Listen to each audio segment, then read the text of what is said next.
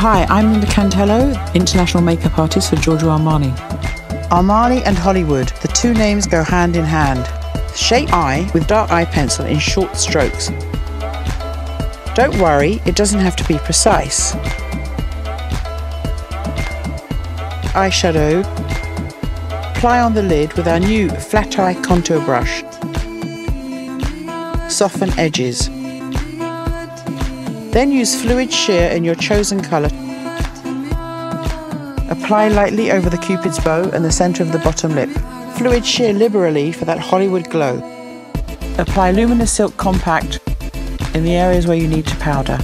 It exists in 24 shades for all complexions. Luminous Silk is the perfect base for red carpet perfection. In this case we used Ecstasy Lacquer 400. A final touch of instant spotlight for the perfect Hollywood lip. Hollywood, instant glamour with a twist.